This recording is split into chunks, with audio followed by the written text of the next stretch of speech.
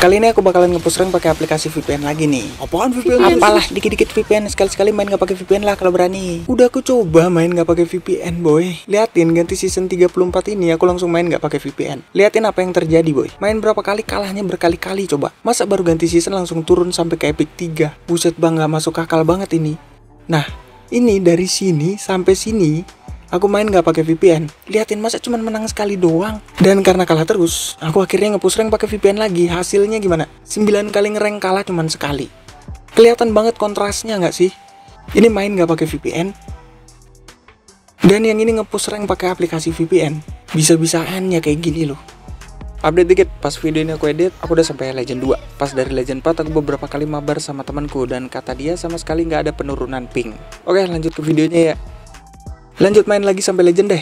Aku tunjukin segampang apa aku ngepush ranknya. Oh ya, ada beberapa VPN yang aku cobain dan dari semua VPN yang aku cobain, ini salah satu yang bagus dipakai buat push rank karena servernya itu banyak, jaringannya cepet dan musuh yang aku dapetin itu juga bisa aku bilang lebih gampang dari server original Indonesia. Cek menit segitu buat cara pasang dan cara pakainya boy. Ini udah nyambung jadi langsung aja aku tunjukin di dalam game ini. Epic 1 bintang 2 dan aku pede banget ini pasti menang lagi. Ya, ini game pertama yang direkam, ini tadi aku sambungin ke server Malaysia. Udah dalam game gini seperti biasa kita disconnect dulu jaringan VPN. Kalian bisa pakai tiga cara. Pertama kalian buka aplikasi VPN terus tekan disconnect. Kedua disconnect pakai game booster. Ketiga langsung aja disconnect lewat status bar kayak aku ini.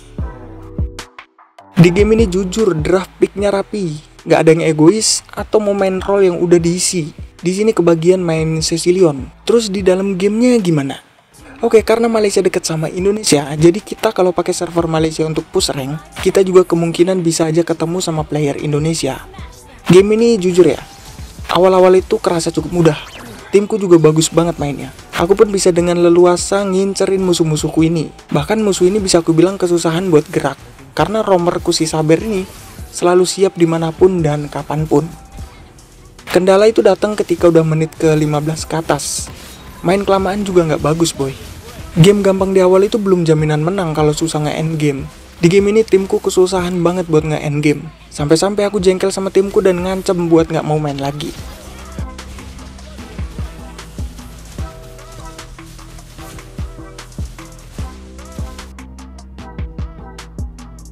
Syukurnya kemungkinannya timku juga ngerasain hal yang sama game ini nggak akan bisa kelar kalau menggampangkan musuh. Akhirnya kami kompakin lagi permainan kami, terus kami dapat lord dan kami ngepush bareng buat nggak end game ini. Boy, pesan moralnya nih, mau segampang apa pun jangan pernah menggampangkan sebuah game. Karena game mudah itu bukan jaminan buat menang. Karena ada kerjaan, jadi game kedua ini aku lanjut main besokannya lagi. Dan ini pindah server. Aku mau tunjukin gimana rasanya main di server Thailand pakai VPN ini. Sudah nyambung kita gas ngereng aja. Pas masuk draft B kalian lihat, dapat orang luar. Indonya cuma aku aja. Sama ada player Singapura satu nih. Ini aku disconnect VPN dulu nih. Nah ini awal game aku pengen main ROM tapi timku nggak ada yang jawab jadi ya udah aku ambil XP aja. Ternyata si slot 5 ini tetap maksa main mage lagi. Coba dah Cecilion dijadiin romer coba.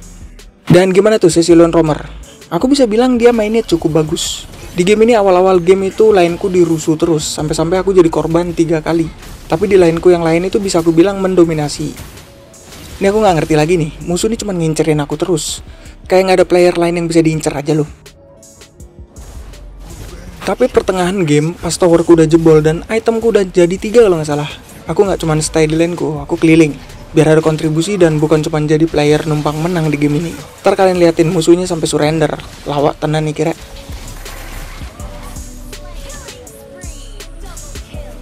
Oh ya, di dalam game di server Thailand ini pakai jaringan data dan setelah disconnect VPN aku dapat ping segitu.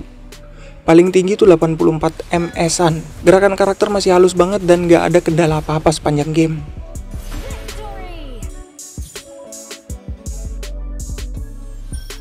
Oh ini boy, kalau kalian penasaran sama si Cecilion tadi, lumayan bagus loh doi itu mainnya. Padahal susah loh Cecil dijadiin romer itu.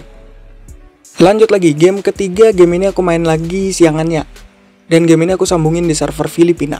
Game ini aku persingkat aja ya, biar video kali ini tuh cepet. Intinya server Filipina ini masih server yang gampang banget dipakai buat ngereng boy. Game ini akhirnya kebagian lagi main romer. Ritual dulu, disconnect VPN biar jaringannya di dalam game nanti tuh stabil. Pik-pikannya juga kelihatan bagus, dan aku orang Indonesia sendiri lagi nih.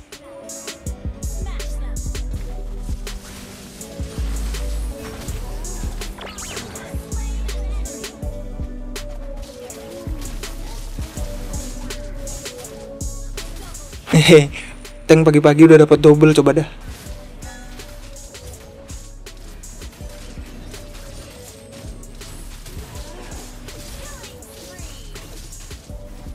Gak masalah, yang penting satu kaki dibalas satu kaki. Oh iya boy, jaringan di Filipina tuh stabil. Ntar aku kasih peringkat server yang udah aku cobain. Untuk server Filipina yang sekarang aku pakai, itu jaringannya stabil di 80 sampai 90-an ms. Dan musuh yang aku dapetin itu kira-kira kayak di game ini. Jadi di game ini dari awal sampai akhir game itu nggak ada kendala apa-apa. Justru timku jago dan musuhku lembek.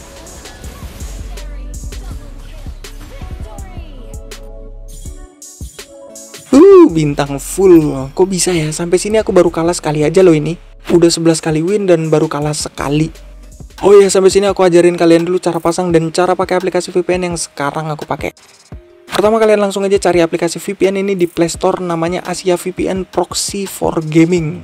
Nah, ini dia paling atas. Kalian langsung aja install dan buka aplikasinya.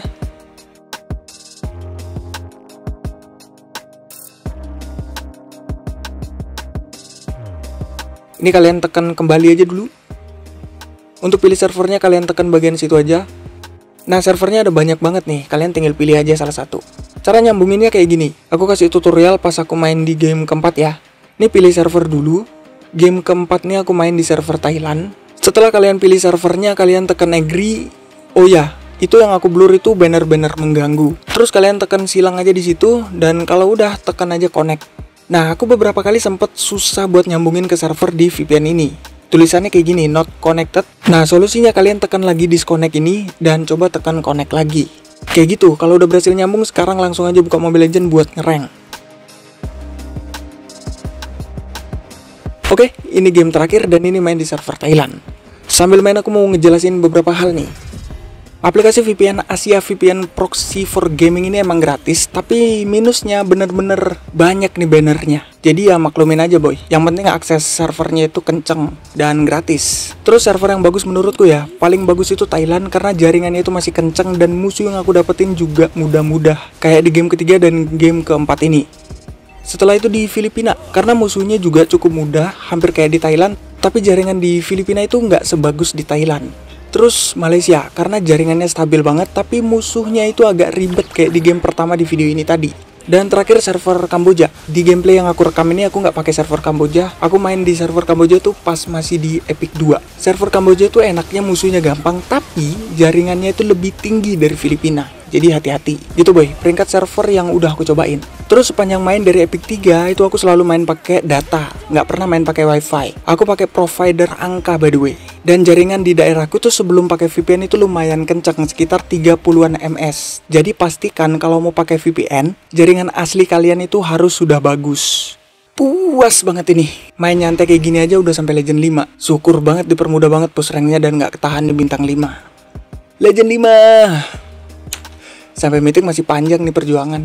25 game lagi mungkin. Itu juga kalau menang terus. Ya syukurin aja apa yang dikasih hari ini deh. Oh ya, mulai pakai VPN itu di game ini. Dan cuman kalah sekali di game ini. Dibilang puas ya puas, dibilang nggak ya gimana ya, belum mitik. Perjuangan masih panjang boy. Lanjut main lagi aja, nggak usah dipikirin, kita jalani saja.